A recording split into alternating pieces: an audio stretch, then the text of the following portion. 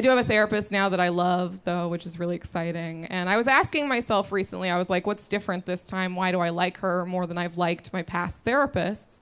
And I was like, oh, I think it's because I believe that she really cares about me. Yeah, and then I heard myself think that. I was like, oh no.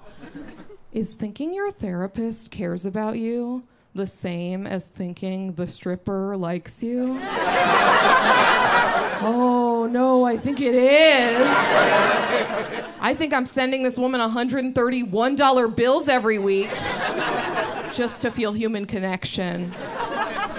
Which is fine, but I'm like, maybe we should address it, you know?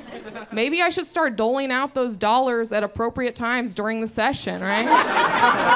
oh my God, you're so right. I'm gonna have to make it rain on that one for sure. She's